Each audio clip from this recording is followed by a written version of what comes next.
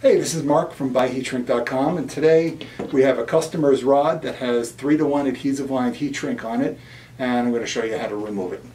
So first thing I'm going to do is I'm going to get the tubing nice and hot to melt the adhesive on the inside. So what we have is our VT1100 heat gun and I'm just going to get this nice and hot.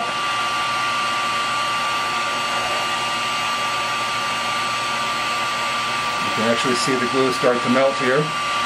So then what I'm going to do now that it's nice and hot is I'm going to take my knife and I'm just going to cut a slit in the tube. Okay, I'll start with the slit and now what I'll do is I'll just come down here and start scraping and coming right off. So, just keep going like that. And then if it starts to give me trouble, I can just heat it up some more and keep going like that.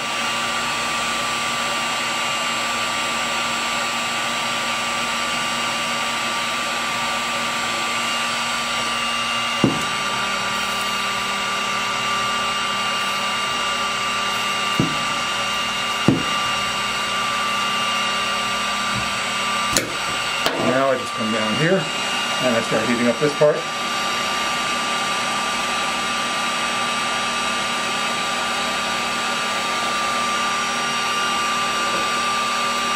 I just continue down same path that I was doing.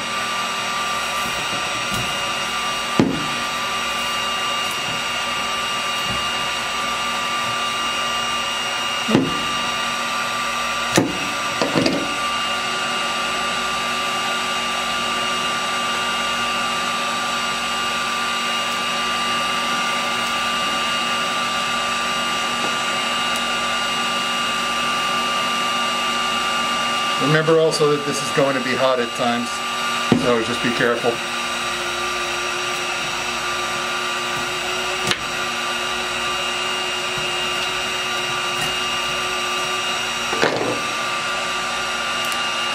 And we're basically done.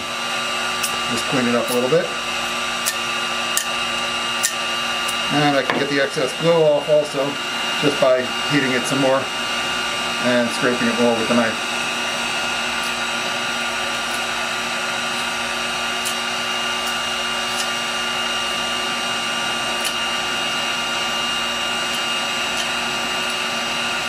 Right, all set.